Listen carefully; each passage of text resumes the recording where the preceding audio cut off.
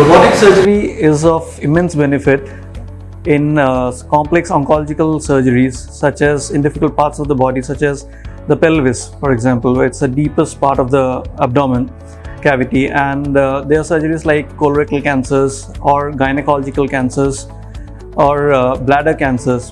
And the other important part of the body where it has got an immense role is in the thoracic cavity inside the chest wall.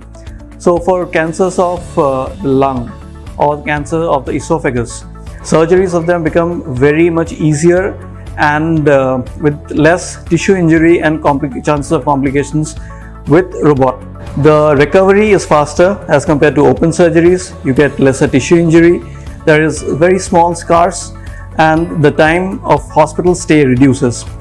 All these benefits along with an equivalent oncological uh, clearance.